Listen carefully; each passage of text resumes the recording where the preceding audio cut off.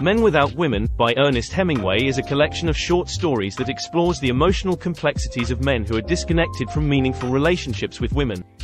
In these tales, Hemingway delves into themes of love, loss, loneliness, and the struggles faced by men in their search for identity and purpose. The stories offer glimpses into the lives of diverse characters, including bullfighters, boxers, soldiers, and writers, each grappling with their own insecurities and desires. With his trademark concise and powerful prose, Hemingway captures the essence of masculine vulnerability, painting a poignant picture of men adrift in a world without the anchoring presence of women.